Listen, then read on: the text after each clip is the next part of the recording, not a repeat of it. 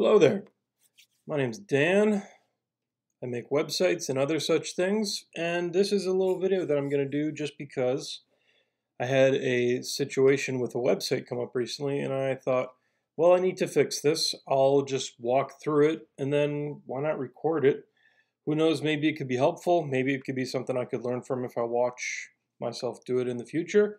Uh, and yeah, it would just be, in, be kind of interesting. So, what's the situation? On the right here, we have my GitHub account, and we have a repo called MyGig. And what this is, this was my my basically graduation project from school. I went back to school a few years back to do, to learn how to program, etc., etc.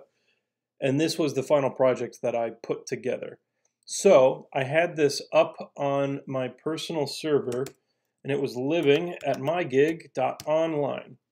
However, the domain name just ran out. And I let it ran out because this was literally just a small project. I don't really have any use for it other than being something that I could say I built and have like on a resume as, you know, a personal project, something like that. But as you can see, the host is not resolving. It's going to keep spinning because it no longer exists. So what I was going to do is I have my own little stupid site which is this. Dan Brakke, developer at Fjorge Digital, a Minneapolis company.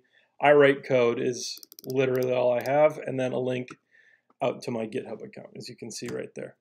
So what I want to do is I just want to make a, a subdomain for Brakke.dev called mygig.brakke.dev. I have other personal projects on there. It's that way you don't need to get a domain name for every single thing you do. It's it's easier. Granted, I don't necessarily do it in the easiest way because I'm a dork, but we'll get to that. So, what do I need to do first off? I basically need to make sure that I have uh, a subdomain made for this domain name, brakke.dev, pointing at the right spot. Now, the thing that I could be doing that I'm not doing, which is something I kind of was touching on a second ago, was that I could just have like a wildcard that catches everything that goes to blank.brakke.dev. I haven't personally set that up. It would probably be better in the long run to do that, but I just, I don't know if it's laziness, if it takes more work, but like I just haven't set it up. So instead, I'm going to go to my Namecheap account, which is who I use for this kind of stuff. Um, ooh, I got a verification code. Interesting. I wonder. Oh, oh no! I've definitely logged in from this computer. Maybe it's because I'm in a. I'm logged in as a different user than I usually would be when I'm doing this kind of stuff. So let's let's take a look at what in the hell this is. Yep, and now I have to log into this Gmail account because I don't usually use this Gmail account here. I don't want to add a home address. This is exciting. All right, Namecheap support your confirmation code. Submit. Cool, cool. Cool, so here we are. I have a few other domains, kelseyisabut.com, classic kitty-womp.us is the name of my server actually. Uh, mygig.online, here is our guy. As you can see, it ran out on February 11th. I could renew it. I could manage it, you know, like up it, whatever. We're not going to do that. We're going to go to brakke.dev. And now you get to see my disgusting DNS records. So here we go. Look at all these. All of these are subdomains that I have living on my server. And what I could be doing is I could just issue a wildcard for all these and it would just it would just match because I have Apache running on the server and it would just work it would do the thing. But I'm a lazy bastard, which is not true because this takes more work, but it's just I don't really feel like doing it differently than I than I have done in the past. Anyways, let us add a new record. We're going to add an A record for my gig. It's going to point at my server, which we got there, automatic, boom, bada bing. Cool. So we have that pointing in the right place. So now what do we need to do? I'm going to stop that. Now we need to get onto my server and make sure that we update the Apache uh, config record for this website. So I have this command that I've aliased on my machine, VPS, which takes me right to my server. However, this user doesn't have permissions to do this kind of stuff, so I'm gonna up to sudo. I don't still have my thing saved. That's wrong, that's wrong. Let's grab my junk. You can't see anything, so that's a bonus. Cool. So I'm now in my home directory as the root. Okay, cool. So first off, where does this information live? I'm using Apache, as I said, as with most servers. This is a CentOS server. Uh, the web files are going to live at www.root, and then I've got a whole bunch of shit on here. So let's see, where do we have it? Uh, I know it's here. MyGig.online. There we go. And so here is kind of how, so actually, this is kind of interesting. This is a publish script. I'm pointing like you can see. Update publish.sh is a publish script that I had written that would be run after I was done SCPing files to the server, which is a whole thing that I did. So this project took me about like two, two and a half months to do, I think, two, probably two months. I might just do another whole video on this because it's interesting and I learned a whole shitload about development and like, you know, pipelines and blah, blah, blah, blah, even though I did them all myself and it could have saved some, some time if I automated it a little better. But anyways, we're in this directory and publish is where everything lives. So you see a bunch of DLLs. This project was written with a React front end and a C Sharp backend. So that's why we've got all these crazy, crazy amount of DLLs going on in here. Anyways, we're worried about DNS. So what I'm going to do is I'm going to go to etc httpd. Actually, let's let's boost that up for you.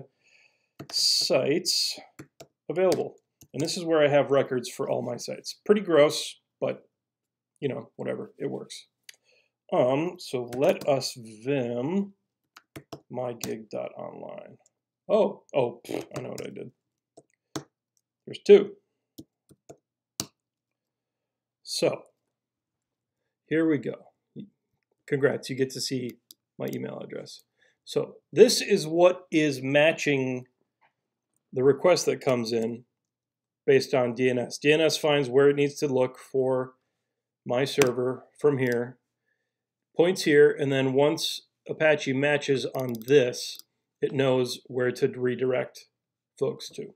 So we're just going to switch this guy up to brakke.dev. And I have a feeling we're going to run into some issues, but we'll find out. And let's, sure. Well, wait, I don't have a record for this, so I'm not going to even bother with that. We don't need that.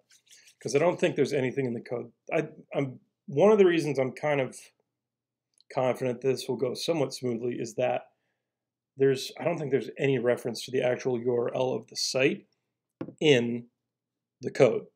So once we kind of swap this over, things should hopefully work fairly well. Everything is still running on the server that should be running on the server. So that's cool. Um, anyways, we're going to be leaving all of these the same. We're going to leave this the same. Now here's where we're going to probably run into an issue. SSL. So these three lines were automatically added by certbot. Certbot is what I use on my server to manage my certificates. I have a cron that runs that updates them when they need to be updated, but we're changing the domain name. So that means that my cert is going to be no good anymore. So what I'm actually going to do, I'm going to just revoke this certificate, I think, and then go from there. So what I'm going to do, I'm just going to delete those, mygig.brakke.dev, da, da, da, da, da, and then I'm actually going to remove the other conf file. And that one is specifically for the information about when it's connecting on port 443 for SSL. So what does that mean? We need to also remove the old instance, well, the old certificate, I guess. Uh, and I am always forgetting this syntax. Correct way to delete a certbot SSL certificate. Thank you, Google. certbot delete cert name. Well, we don't need sudo. Uh, let's find out, what is it, list? Nope. How do you list all your certificates? I suppose I could just check that out. Da, da, da. This is the best part, right? Oh, certificates. Doi. Okay, so this will output a whole list of our certificates. And now we get to fricking pick through all this. My gig online. Certificate name, my gig online. Cool, that is great. Wait, I don't want that. All right, I don't want this. So we got certbot delete cert name, mygig.online. Does it work? Don't want to revoke, blah, blah, blah, blah, blah. Yep, cool. We good. However, I know that this is going to break once we restart because there is going to be a reference to that exact certificate in my HTTP conf. So let's see if we can find that. This is one of those things. Conf, yeah, yeah, yeah. What is the name? HTTP.conf. Uh, oof, that is really tough to read. Uh, do, do, do, do, do.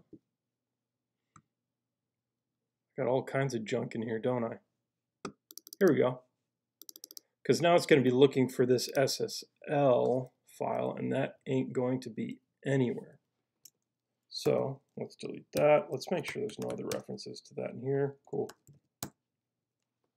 So that should be good. Now we actually just need to, oh, well, actually, let's see what happens. I thought the naming for the uh, sites of the I thought the naming for these files might affect how it how certbot registers the domain or sees which ones it can potentially apply for, but it might be defined inside the file. And I just remembered also, not only is there sites available which we're already in, there's sites enabled. And in here, we have a larger list of stuff. And is there a MyGig? There is a MyGig but it is pointing at our current one, so that's good because that's got the updated information in it. Cool. All right, so let's run certbot auto Apache. I'm curious as to what we will find. Um, mygig.brakke.dev. Cool. So that should work. Let's see if we can get ourselves a cert. Cleaning up enabling site. Cool. Now, we haven't restarted Apache. So let's see if it restarts. We might get an error. We didn't get an error. Let's see what happens when we go to here. Hey, there we go. This is the site. Now, I'm very curious, is anything potentially broken? Uh, let's find out. Brakke, brackscript at gmail.com. Let's see what happens. Email already in use. So, I mean, that tells me things are kind of hooked up and working. Let's let's use my old ass email address. Hey, sweet. Everything is up and running. We have our cert, we have our site, and it's it's good. Awesome. I was not honestly expecting that to actually work at first. I thought there was going to be something that we for sure missed. But hey, I'll take it. This has been great. Cool. Once again, I'm Dan. This has been me randomly trying to get this old site back up and running after the domain name expired. And here we go, mygig.brakke.dev. Cool. Thanks for watching. Hope this was not annoying and somewhat insightful. Have a good one.